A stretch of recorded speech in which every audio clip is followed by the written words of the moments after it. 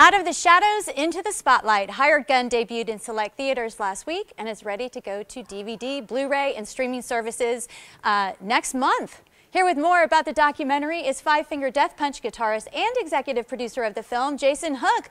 Hi. Good morning. Good morning.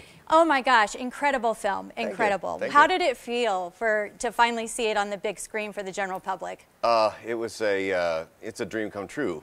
I mean, it took four years to get to that, that point. So it's just like, oh my God, we've crossed that hurdle. So uh, it was awesome. I had like all my friends, there was 200 people in the theater. It was awesome. Oh, that's incredible. Yeah. And how many theaters uh, did it, was it at? 400 theaters nationwide uh, through a company called Fathom Events. They, they sort of handpick indie movies and host like a one night only uh, theatrical event. So it was really cool with extra content, but it was uh, great turnout and uh, every, all the feedback's been great so far, yeah. Well, for those who haven't seen the film yet, tell us about Hired Gun. Hired Gun is a rock documentary. Uh, basically, the movie focuses on musicians that are hired to play for celebrity artists. So um, I used to do hired gun work uh, before I got into Five Finger Death Punch. So um, I had my own story to tell, but I also know so many musicians uh, myself that I could call up for their story. So I knew right away. I knew well I could get, get my hands on some good content. Right. Well, when I, there was one quote from you in the film that really resonated with me, and it said, uh, "You're sitting in the front row to a very glamorous lifestyle, but it has nothing, nothing to, to, do, with, you. you. Yeah, it's like a T-shirt, right?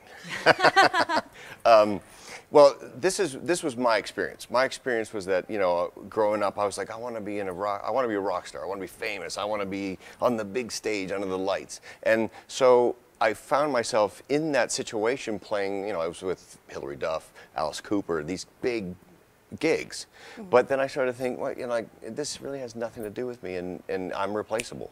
It, you know, so I'm like, I get the, I get the feeling, but it's shallow. It's not the, the deep feeling. There's no satisfaction. Mm-hmm. And you had that sheer terror moment. Well, what happens is, you know, you can make some good money uh, being a hired gun. Mm-hmm. So you start to see this income. I'm like, well, I have never had money. So now I want to have nice things. I want to have a car and a house and like I'm going to grow up now. But the thing is that at any given moment they can just shut the gig off. And that was, you know, I learned that the hard way. Right. You know, uh-huh. I had these major uh, bills and all of a sudden I read the email that says, uh, nothing personal, but we're taking the artist's career in a different direction mm-hmm. and thank you, best of luck. And I'm like, no, no, no, no, this can't happen. I just bought this place. I have this massive mortgage payment, you know. Mm -hmm. Well, before we go, I want to talk real quickly about the hired guns of the film, the production okay. guys. Who was behind this film? Well, the, the, it started with two people, myself and the director, Fran Strine. And uh, Fran was on tour with uh, Five Finger Death Punch as our videographer.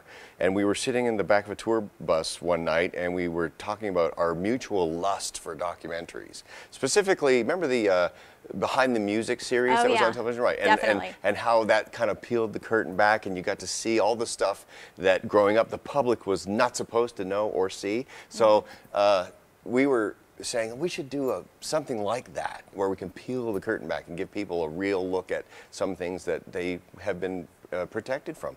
And that was where we came up with the whole idea. And then it was just the two of us. We were like, small budget, small idea. But then, yeah.